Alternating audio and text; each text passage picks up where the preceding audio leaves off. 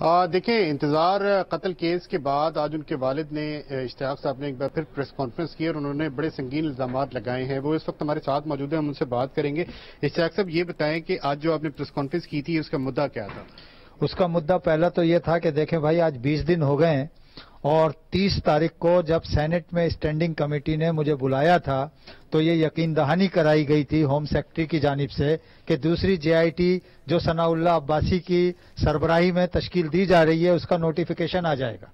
जो कि आज आठ दिन हो गए हैं, कोई नोटिफिकेशन नहीं आया है।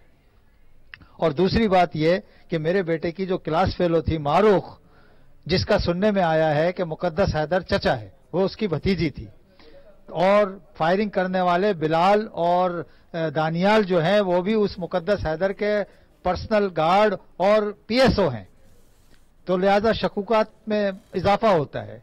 तो मुझे अगर इंसाफ नहीं दिया गया और जेआईटी वगैरह नहीं बना के दी गई और कोई शफाफ तफ्शीश नहीं की गई तो मैं फिर अपने बेटे की चैलम के फातिहा के बाद प्रेस क्लब पे भूख हड़ताली बन के बैठ जाऊँगा और उस वक्त तक नहीं उठूँगा जब तक मुझे इंसाफ नहीं मिलेगा या फिर मैं अपने बेटे के साथ अल्लाह के यहाँ जाकर अल्लाह साफ़ अच्छा, मांगूँगा। साहब ये बताएँ कि आपने ये कहा कि आपको पता चला तो आपने किसी तफ्तीशी हुकाम को किसी आला अफसर को ये बताया कि आपको ये मालूम हुआ और उन्होंने आपको क्या बताया? और आपको ये कंफर्म है कि वो जिसका मारूफ का जो आप नाम ले रहे हैं वो मुकदस हैदर की भतीजी है?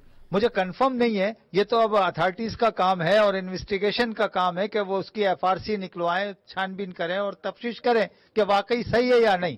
मैंने तो अपने शक का इजहार किया है जैसा मुझे इत्तला मिली है। और फिर दूसरी बात ये वो मारने वाले उसी के पर्सनल गार्ड और पीएसओ हैं जिनकी ड्यूटी भी नहीं थी जिनका कोई लिंक भी नहीं था। और मेरे बेटे की गाड़ी तो घेरी हुई थी रुकी हुई थी। फायरिंग का कोई जवाब ही नहीं पैदा होता था। तो पर्पजली फायरिंग की गई है जो कि कत्ल है। तो उसका सबब तो होता है ना।